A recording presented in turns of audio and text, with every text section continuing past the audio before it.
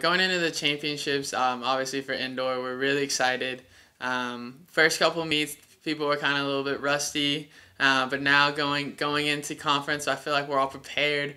Uh, we've been putting in great practices. Um, everyone's sort of trying. Everyone's sort of finding their niche now. The team's looking great. The guys are really starting to peak at the right time, and, and we're very excited to get out to Birmingham and be able to compete. This year to finish fourth is possible, but would be outstanding. We're going in without Scott Filip and it, that's like the basketball team not having Marcus Jackson. You know, we're, we're, we're he's an All American in the heptathlon. He's gone to nationals. He's an All American in the decathlon, he's, and he's gone to nationals in the heptathlon. And also indoors, it hurts us not having someone like Evan Karakolis who doesn't have an indoor event, and you know he's he was has been All American as well.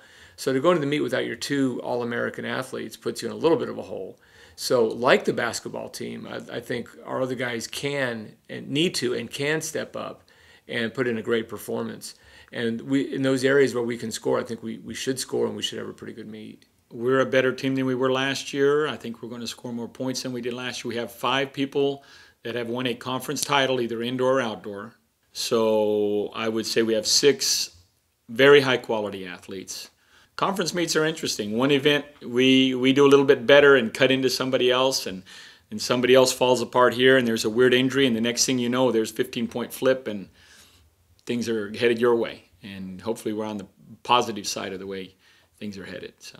Well, as an athlete, you always want to improve on yourself, and you want to be your best.